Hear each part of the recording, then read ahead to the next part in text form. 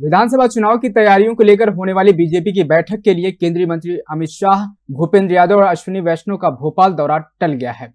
और केंद्रीय मंत्रियों का यह दौरा प्रधानमंत्री नरेंद्र मोदी की चीता परियोजना को लेकर होने वाली महत्वपूर्ण बैठक की वजह से टला है। बीजेपी विधानसभा चुनाव में विपक्ष को मात देने और चुनाव प्रचार की रणनीति बनाने आदि को लेकर बैठक करने वाली है। और उस बैठक में केंद्रीय मंत्री अमित शाह, प्रदेश चुनाव प्रभारी भूपेंद्र यादव और सह प्रभारी अश्विनी वैष्णव शामिल होने वाले थे। लेकिन अब ये बैठक टल गई है। ये बैठक 22 जुलाई को होगी। दरअसल प्रधानमंत्री नरेंद्र मोदी चीता परियोजना को लेकर दिल्ली में महत्वपूर्ण बैठक करने वाले हैं। केंद्रीय वन मंत्री होने के नाते प्रदेश चुनाव प्रभारी भूपेंद्र यादव का इस बैठक में शामिल होना ज़रूरी था, जिस वजह से वो भोपाल नहीं आ पाए।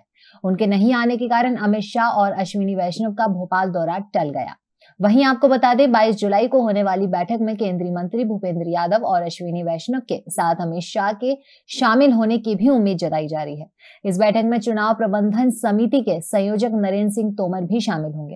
वो खबरें जो आपके काम की है वो खबरें जो आपके लिए ज़रूरी है। हर आम और खास से जुड़े मसले। हर मसले का सटीक विश्लेषण। हम करते हैं सत्य का अन्वेषण।